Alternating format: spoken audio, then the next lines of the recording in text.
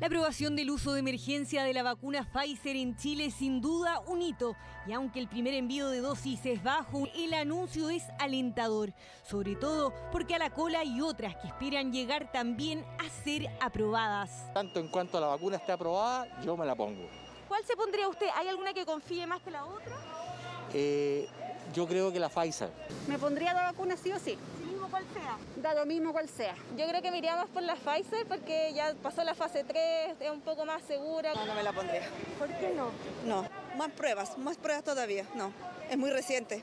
Así como hay algunos que quieren ser los últimos o no ser vacunados, otros quieren que el proceso comience rápido. Para ellos son dosis de esperanza en momentos tan complejos. En nuestro país ya hay cuatro vacunas que se están probando en distintos voluntarios. La Sinovac, la AstraZeneca. También la de Cancino y Janssen. Esta última de Johnson y Johnson fue la primera en empezar los ensayos clínicos a fines de octubre. El proceso ya está cerrado. 1.200 personas se vacunaron en Chile. Ahora falta que se complete la meta global y podrían estar listos. ¿Hay presión para el resto al ser Pfizer aprobada? Es una presión a nivel mundial de terminar el enrolamiento lo antes posible para poder tener información lo antes posible. Y así afirma una solución. Actualicemos la vacuna de Oxford AstraZeneca que tiene un 70,4% de eficacia. Comenzó los ensayos en el país el 2 de diciembre y ya cuenta con más de mil voluntarios vacunados en Chile. Bueno, ahora viene seguir con este enrolamiento. Este estudio pretende enrolar 30.000 personas en el mundo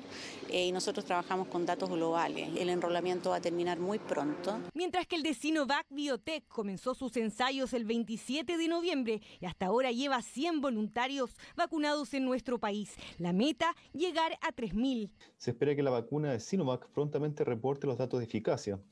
Con esto podrá optar hacer la solicitud de registro de emergencia de esta vacuna en distintos países. Y la China canadiense CanSino Biologics hasta ahora lleva 200 voluntarios vacunados. Esperan inocular en nuestro país a 6.000 personas, la mayoría en el sur. Y ahora va por un estudio mundial de 40.000 personas. Probablemente en tres o cuatro meses se va a, a tener los resultados. Porque antes deben acabar el proceso. En Temuco, este jueves, este nutricionista será el primer voluntario el miedo principalmente va en relación a que es algo desconocido, ¿cierto? Sobre todo a los posibles riesgos, pero yo sé que los riesgos son como cualquier vacuna, o sea, un pequeño resfriado. Pero confía en el equipo que hay detrás e insiste que es un deber como profesional de la salud hacerlo por el resto de la población.